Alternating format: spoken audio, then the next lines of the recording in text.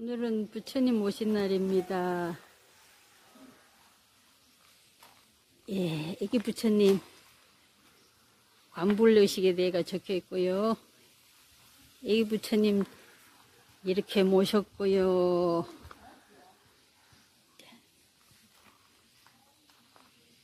그 다음에 육복 공양하는 자리인데요. 이번에는 육복 공양을 여러 가지를 준비를 했어요.